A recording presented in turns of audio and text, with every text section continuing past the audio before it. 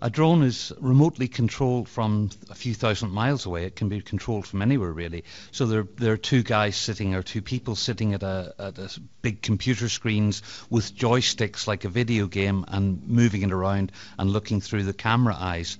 In the case of the X-47B, there is no controller. There's no pilot. It flies on its own under programmed guidance and instructions from a computer. But isn't that programming effectively the same as having somebody in control? It's just they've done it in advance.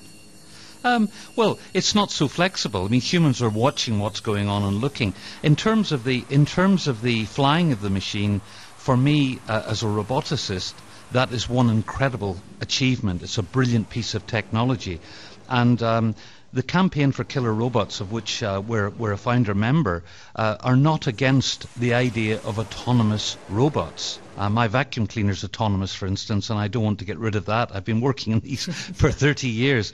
What we're interested in getting rid of is, is the kill function uh, and that is the ability of a robot weapon such as this, an autonomous weapon. They can be on the ground, they, they're developing them for the ground, they're developing them for the sea, they're developing them submarines. And what we don't want to do is for the machine to be delegated with the decision to kill someone. In other words, the machine finds the target itself and attacks it without human involvement, without human intervention because your concern is that there is nobody at some point who can say that that is wrong. What they, at, a particular point, there's a, a, mistake about to be made.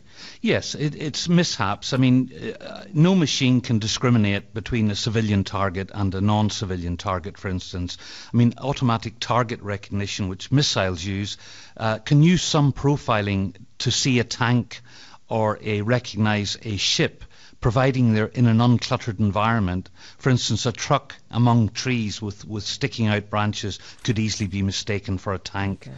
The other thing they use is heat signature so they can detect moving bodies. So this couldn't tell if the thing was a child or, a, or an insurgent or a soldier, really.